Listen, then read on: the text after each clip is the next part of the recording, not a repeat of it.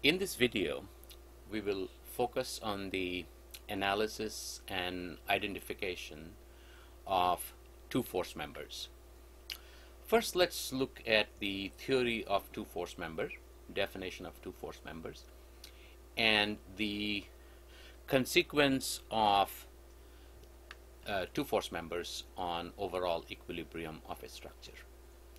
So click on the lecture button and uh, in the statics power software for Actus Potentia. And that should take us to a PowerPoint presentation. And we go to page 39 and uh, where we discuss the equilibrium of two force members. A two force member shown here at the in the diagrams at the at the bottom. Look at the diagram at the extreme left. A two force member is a member which has only two forces acting on it. This is you have to be very precise and specific about this. Only two forces acting on it.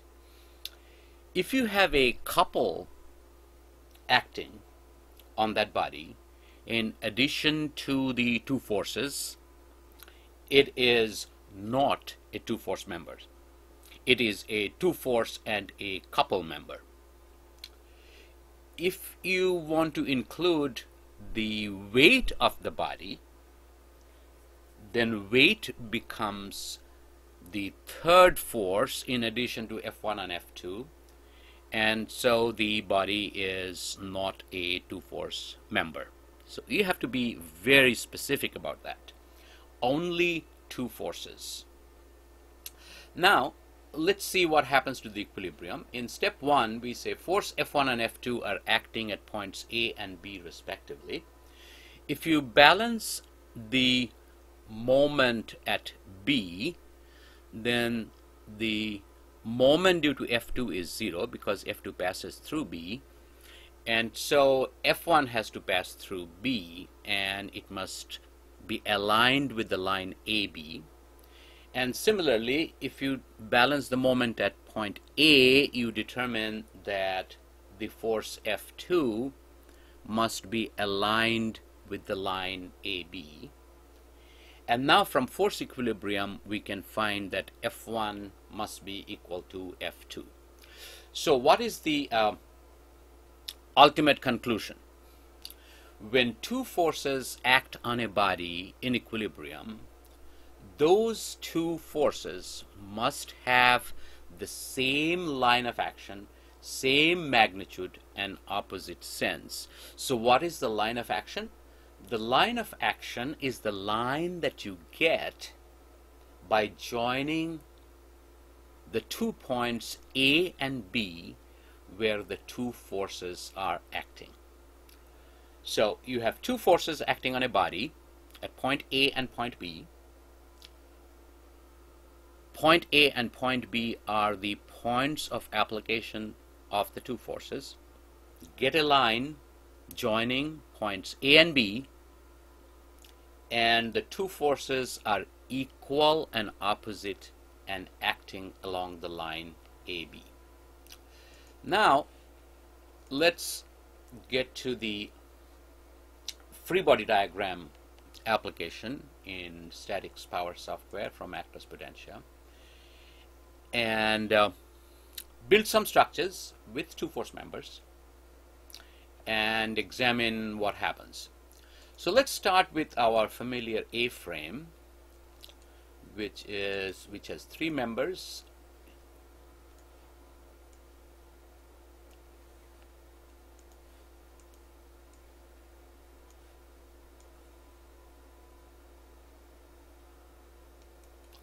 let's uh, join them with uh, pins join here join here and join here and support it with a pin support here and a roller support here.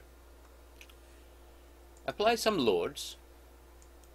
On this we apply a point force at a distance of 5 from point B and a magnitude of 1000 and then apply a couple on this at a distance of 5 from point B and magnitude of 2000 units. Uh, remember that these numbers 5, 2000 and so on and so forth, these are totally arbitrary because at this stage we are not really interested in the numbers but on the basic principle. So in this structure ED is a two force member. It's joined at pin E. So at pin E we have a force. It is joined at pin D. So at pin D it has a force. And compared to the magnitude of this force, the applied forces, which applied forces and couples, which are shown in green, compared to those magnitudes, the weight of member ED is small, hence the weight of member ED is ignored. Remember, if I include the weight of member ED, then in addition to a force at E and a force at D, we will have the weight force and it will not be a two-force member. It will be a two-force member only if you ignore the weight of that member. So right now, ED is a two-force member. And let's draw the uh, free body diagram. This is the free body diagram for the whole structure. Two forces coming from the pin support, one force coming from the roller support. Let's look at the free body diagram for member AEB. Two forces coming from the pin support, two forces coming from the pin joint, and this is the force coming from the two force member.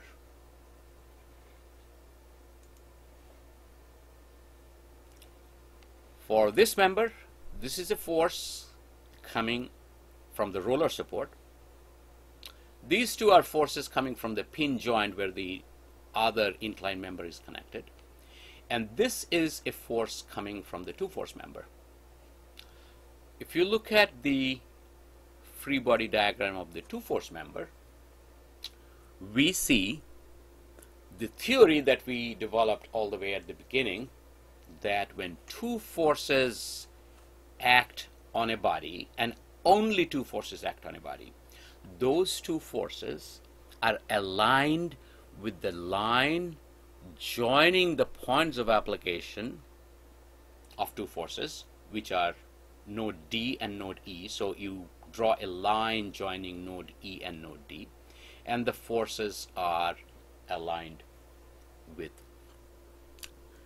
that line. And so what did we achieve by identifying this two force member?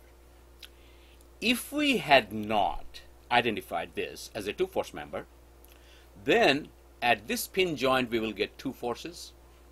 At this pin joint, we will get two forces, so altogether four forces. But just because this is a two-force member, we do not have four forces. We have only two forces. Not only that, these two forces are equal and opposite. We do not know how much this force is or that force is, but they are equal and opposite. So if this is 545, this is also 545 going left and going right. Now, let's go a little farther and start a new structure. Now we are going to build another A-frame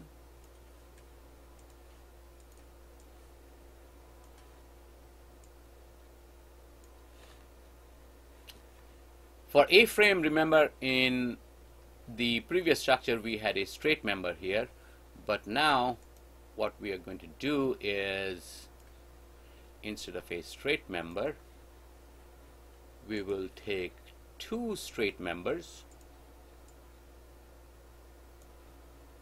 And instead of a pin here we are going to weld these two members together. We call a welding or a welded two welded members as a fixed joint. So you take this fixed joint button click it here. So now it's a V-shaped member. A single member which is V-shaped.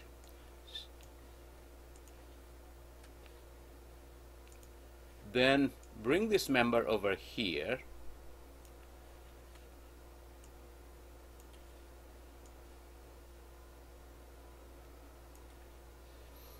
And join it with the two existing members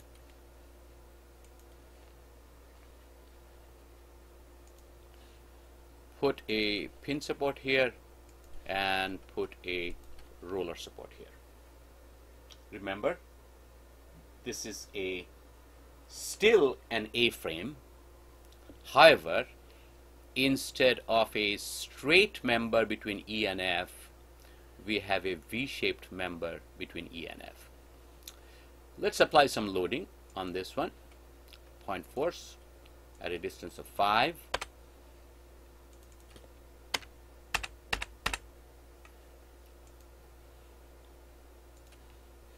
a couple at a distance of 5